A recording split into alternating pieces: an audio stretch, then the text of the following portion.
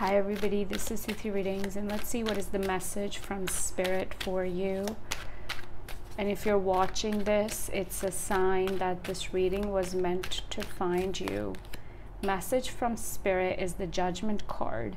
So a lot of you are being told to take your power back. I feel like you are somebody who has been feeling like your life is shifting.